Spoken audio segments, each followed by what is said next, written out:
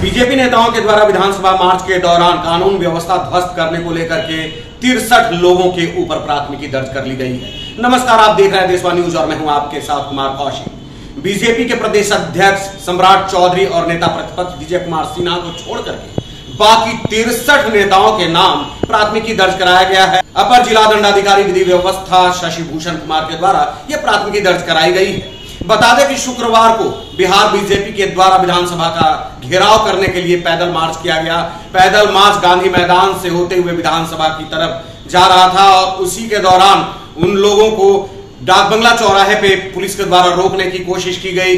Police के ऊपर बताया जा रहा है कि बीजेपी के कार्यकर्ताओं के द्वारा मिर्ची पाउडर फेंका गया। पुलिस वाले भड़क गए, उन लोगों ने लाठी चार्ज कर दिया। लाठी चार्ज के कारण बहुत सारे लोग मार भी खाए, पीटे भी गए, घायल भी हुए। वहाँ पर विधि व्यवस्था भंग हुआ लायन ऑर्डर का उल्लंघन करने का मामला आया।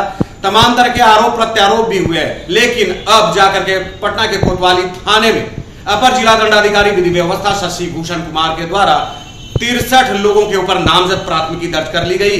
बताया जा रहा है कि आठ हज़ार से अधिक लोगों को अज्ञात लोगों को भी इसमें जोड़ा गया है, इस प्राथमिकी में जोड़ा गया है। बता दें कि नीतीश सरकार के खिलाफ, उनके विधि व्यवस्था के खिलाफ, महँगाई के खिलाफ, शिक्षक अभ्यर्थियों के मुद्दों के पक्ष में 10 लाख नौकरी को लेकर के, तमाम मुद्दों को लेकर के बिहार बीजेपी के द्वारा विधानसभा का घेराव करने के लिए, विधानसभा के लिए निकले हुए थे। तमाम कार्यकर्ता और नेता गांधी मैदान से चल करके वो विधानसभा की तरफ़ बढ़ रहे थे।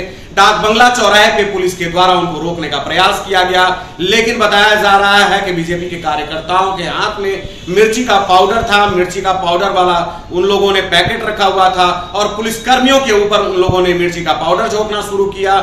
पुलिस भड़क गई, उनको रोकने का प्रयास किया गया, हल्का बल प्रयोग करने का कोशिश किया गया, लेकिन बीजेपी के कार्यकर्ता जो थे बेहद उग्र थे जोशो खरोश में थे, वो हंगामा शुरू कर दिए और इसी हंगामे में जम करके लाठीचार्ज हुई और आया लाइन ऑर्डर भंग करने का मामला। और इसी मामले को लेकर के प्राथमिकी दर्ज की गई है। तिरसठ नेताओं के नाम प्राथमिकी दर्ज किया गया है। आठ हज़ार से अधिक लोगों को नामजद किया गया है, अज्ञात लोगों को। लेकिन बताया जा रहा है कि नेता प्रतिपक्ष विजय कुमार सिन्हा और बिहार बीजेपी के प्रदेश अध्यक्ष सम्राट चौधरी को छोड़ करके बाकी तमाम नेताओं को इसमें नामजद कर दिया गया है। तो अब तक के लिए बस यही तक फिर मिलते हैं नए मुद्दे हैं सरोकारों के साथ। तब तक देशवा न्यूज़ देखते रहिए। धन्यवाद। सिर्फ़ खबर दिखाना देशवा न्यूज़ का मकसद नहीं। देशवा न्यूज़ की कोशिश है कि समाज की सूरत बदलनी चाहिए। देशवा न्यूज़ पर वीडियो देखने के लिए लाइक करें, सब्सक्राइब करें। साथ ही बेल आइकन दबाना न भूलें।